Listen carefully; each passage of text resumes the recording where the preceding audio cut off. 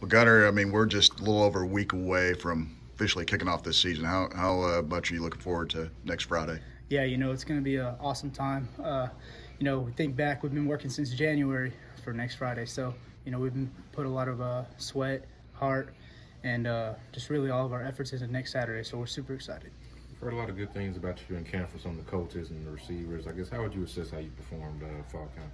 Yeah, no, I felt like I had a good camp. Um, you know, my main thing was just go out there and be consistent every day. Um, you know, in the spring, I ended with like a high 70 average completion rate, and I wanted to get above 80. So my goal was 80, and I got 81% um, with 75 or 77 targets, something like that. So that was just my goal going into camp, and I felt like I did a good job because I was able to get that 81% um, completion rate.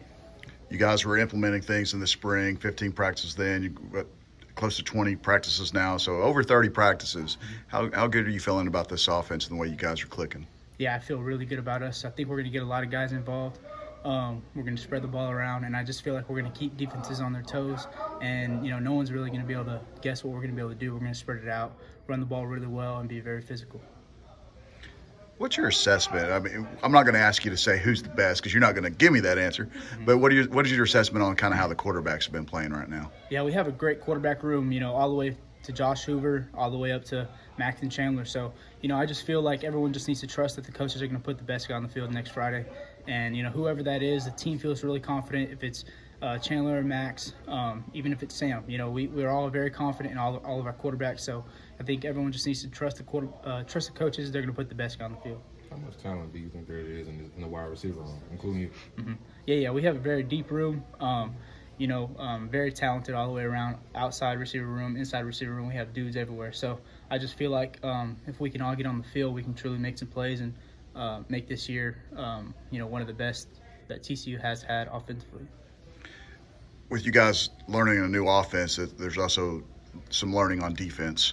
And what are you seeing from those guys as an offensive player and, and kind of how they've improved since spring? For sure, yeah. So, you know, this new defense um, was complicated for them in the beginning, but I just feel like they're playing a lot faster. And when, when guys are playing faster, um, you know, that comes with more physicality. Guys are flying around. Um, basically, you know, all the holes that were there in the spring, they're all a little smaller. So it just made it harder for us to find little holes in the defense. But, you know, I feel like guys are finally getting comfortable and uh, they're just playing a lot faster. Who's your favorite DB to go up against, or who who pushed you the most there mm-hmm. Uh, there are a couple, probably Bud Clark, um, uh, Diarco, and uh, Nnamdi.